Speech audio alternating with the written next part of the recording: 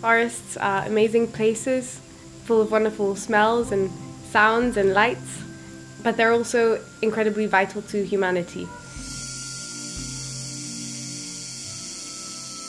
Learning about the policies and um, practical solutions that have worked to make forests more sustainable for the millions of people who depend on them is why I chose to study forestry. Hi, my name is Tessa. I'm from Belgium.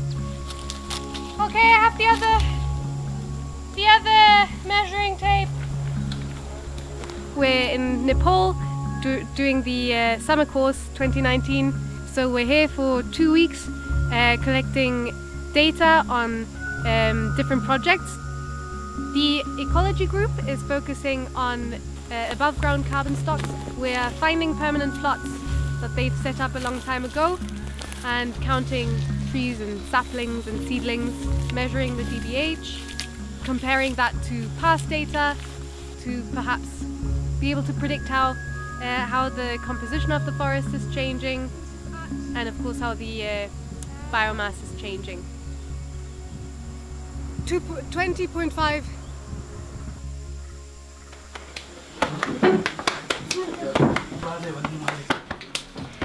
For heaven I'm failure, for earth I'm as good as anyone else. I've got stuff in my hair, I have difficulty seeing with my eyes. My living is you now in a room with sugar and lime.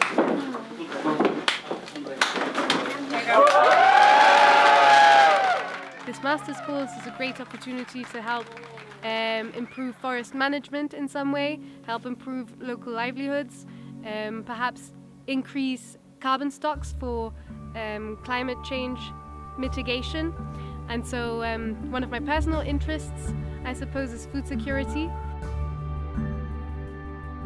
Um, it's been a lot of tough work, frustrating hours, analysing data, getting to know professors who've had amazing experiences and have a lot to, to share, a lot of knowledge.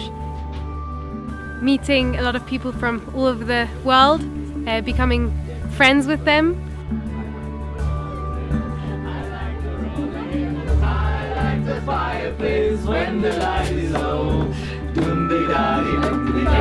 I've immensely enjoyed my experience so far and I really look forward to what's to come.